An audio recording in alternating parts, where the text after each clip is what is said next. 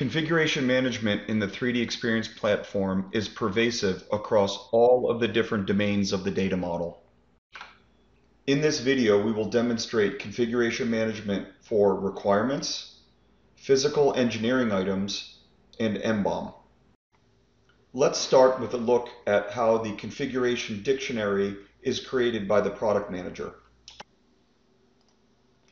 The product manager defines what options we were going to go to market with, and then relates those options to each other using rules. With a convenient table, you can define them, including what the defaults are and what options should not be available. And then product configurations can be created, selecting those options and storing them as a separate object.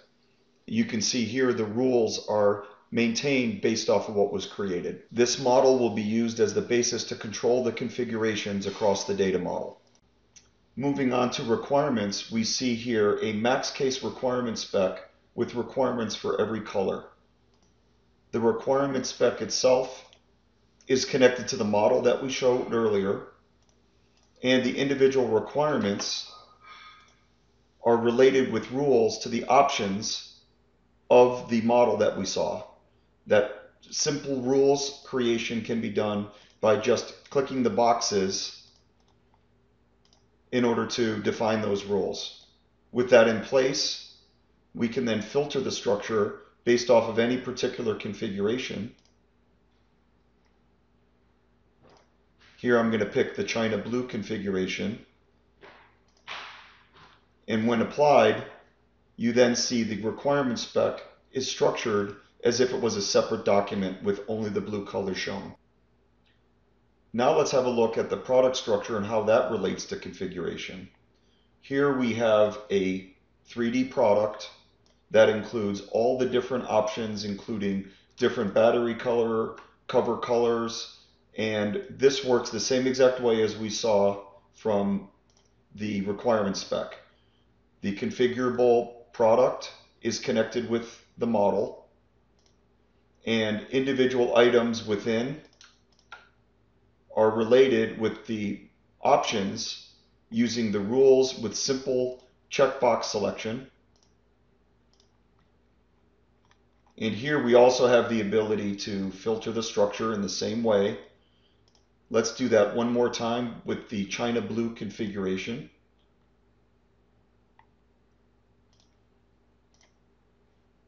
And apply it. And notice we're going to see in 3D, now everything looks blue because only the blue components are selected. And this shows up in the product structure as well as in 3D. So you have a product structure, CAD sort of bill of materials that is unique for that configuration without managing a separate structure. We also have the ability to visualize using our engineering release widget the product structure as a bill of material. And here now we've got the individual items with rolled up quantities and it's also showing the max case 150% structure or in this case SuperBOM for this smoke alarm. By clicking on the product configuration we can easily get back to that same configuration. Let's do the China blue again and it's going to immediately show you the bill of materials in BOM view with only the blue items for the colored externals as well as the battery which is for the China delivery rather than United States. Lastly, let's review the manufacturing BOM or manufacturing item structure. Here's the engineering structure from before. Here's the manufacturing bill of material. And like we saw earlier, there's the configuration context of the model is connected with the various levels of the MBOM.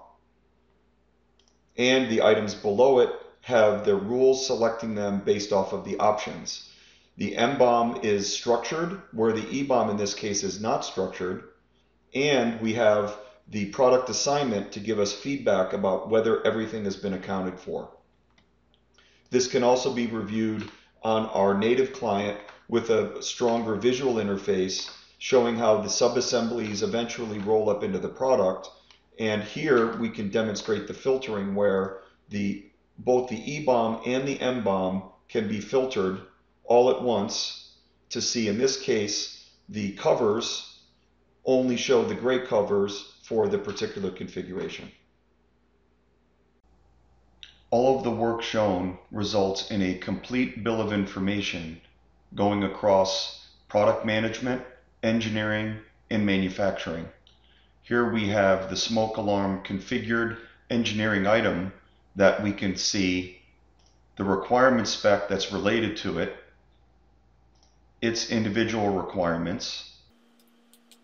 We can see the relationship to the model that we showed earlier for controlling the configurations. And we can see the relationship to the manufacturing bill of material. All of these are related to each other in the platform just simply by doing the work that users would normally do.